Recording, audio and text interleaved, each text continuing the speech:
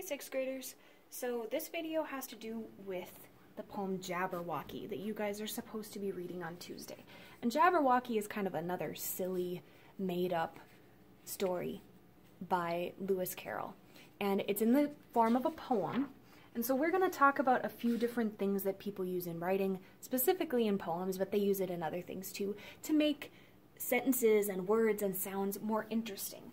So I told you guys you had to read page 377 in your workbook so you understand this part. You do not have to fill out the chart that's there or answer any questions. I just want you to read it so you understand what these things are. And I'll kind of go over it quickly in this video.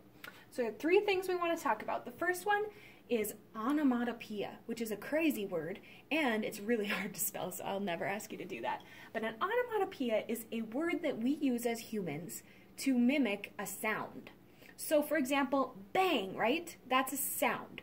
And if we were actually thinking of a real bang, right? Like if I hit the table, I can't make that sound with my mouth. I can't replicate that. So the closest I can get is to make up some sort of word or sound that I would then say that sort of sounds like this.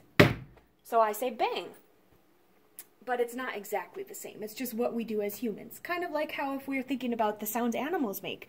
We can't make the exact same sound, but we can sound sort of like them, right? Like a cow who's mooing. Sometimes it doesn't sound like he's exactly, he or she is exactly saying moo.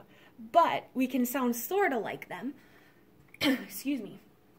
And so we can find words that work for us to make those sounds.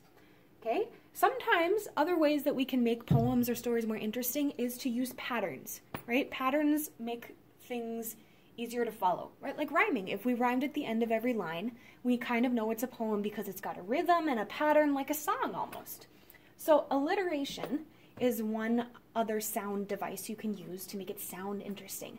And that's where they use the same sounds at the beginning of a word. And they use multiple words that have that. So for example, same sounds, that's alliteration because it starts with S and then the next word also starts with S.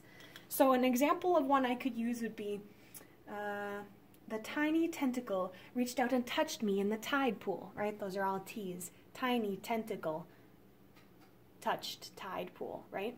All those start with T and it's at the beginning of the word. And when they go together, it's more interesting than just saying like, I saw a squid. It was in the water. It was cool, right? If I wanted to make it sound more interesting, I can put together patterns that sound uh, similar. And so Lewis Carroll does that sort of stuff a lot to make it interesting instead of just talking about this strange animal, this strange beast, right?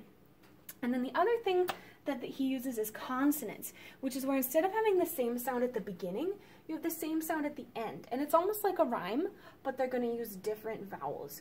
So the example they give you on page 377 is dawn goes down. So dawn and down, dawn is like when the sun comes up in the morning, right? And D-A-W-N. It ends in the letters W-N. Down also ends in W-N. And they both start with the letter D. The only difference is that dawn has an A and down has an O. So it sounds almost like a rhyme, but it's not quite like a rhyme, but it still makes our ears interested to listen to it instead of just saying, well, now the sun's in the sky.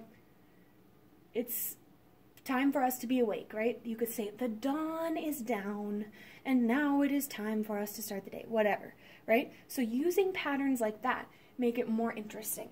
And as you guys write poems this week, these might be helpful to you to make your poems more interesting instead of just, I wrote a poem, it's really cool, the end, right? So keep these in mind as we're working this week, and if you have questions, you can ask me.